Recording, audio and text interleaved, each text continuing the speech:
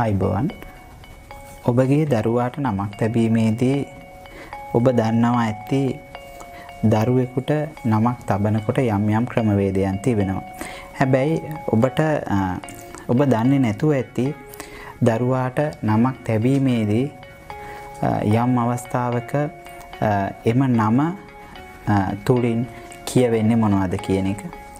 අපි උදාහරණයක් විදිහට අරගෙන බලමු යම් කෙනෙකුට නමක් තියෙනව නම් ඒ දරුවාට නමක් තැබීමේදී නමක් තැබුවාට පසු ඒ ඒ නම තුළින් ඔබ දන්නවද දේහ ලක්ෂණ නැත්තම් ඔබගේ ශරීරයේ තිබෙන හැඩරුව පවා කීමේ හැකියාවක් තිබෙනවා. ඒ වගේම තමයි එම දරුවාට එම නම කියවෙන වාරයන් ගණන වැඩි වෙන විට ඒ දරුවාට යම් සෙතක් සැලසෙන බව.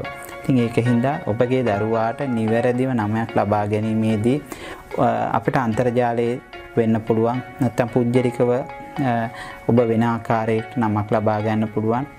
ඔබ කරන වැරැද්දක් තමයි මොකද අපි දැකලා තිබෙනවා යම් අකුරු කාණ්ඩ කීපයක් අරගෙන අකුරු කීපයක් අරගෙන ඊට අවශ්‍ය නාමයන් කොහෙන් හෝ බල්ලා නම් තබනවා කවදාකත් ඒ වැඩ කටයුත්ත කරන්න එපා.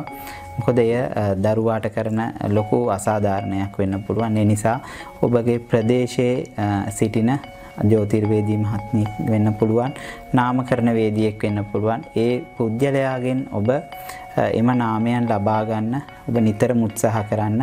එයින් ඔබට ඔවුන් ඔබට හරි මාර්ගය, නිවැරදි මාර්ගය පෙන්වාවේ. ඒ නිසා කිසිම අවස්ථාවක ඒ වැඩ කටයුත්ත කරන්න එපා. මොකද පුද්ගලිකව මම දන්නවා මට නාමකරණයන් සඳහා කතා කරන බොහෝ අය ඒ වැරද්ද කරනවා. අපි මේ අකුරු ටික ගත්තා මේ අකුරු ටිකට අවශ්‍ය විදිහට අපිට නම් ලබා දෙන්න කියන එක.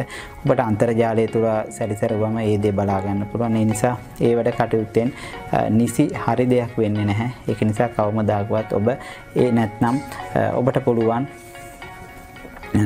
ඔබට බලන්න පුළුවන් අන්තර්ජාලය වගේම නැත්තම් බුක් ෂොප් එකකට ගිහින් නැත්තම් ඒ පොතක් අරගෙන එහෙම බැලුවත් එතනත් යම් යම් වැරදීම් වෙන්න පුළුවන්. ඔබ නිවැරදි ආකාරයට තබනවා නම් කාගෙන් හරි උපදෙසක් ගන්න. එයින් ඔබට ඔබගේ දරුවාට යහපතක් සිතක් සලසන්න ඉඩ කඩ තිබෙනවා. ඒ වගේම තමයි ඔබට අවශ්‍ය නම් මගේ වෙබ්සයිට් එකට යන්න මම පහර ලින්ක් එකේ දාලා තියෙනවා. ඒ ලින්ක් එකට ගිහිල්ලා බලන්න ඒ නිවැරදි නාමයන් ලබා ගැනීමේ ඉඩ කඩ ඔබට තිබෙනවා. තවත් මෙවැනිම ඉදිරියේදී නාමකරණයන් පිළිබඳ වැඩසටහන් කීපයක් ගේන්න බලාපොරොත්තු වෙනවා. ඔබ සැමට සම්මා සම්බුදු සරණයි.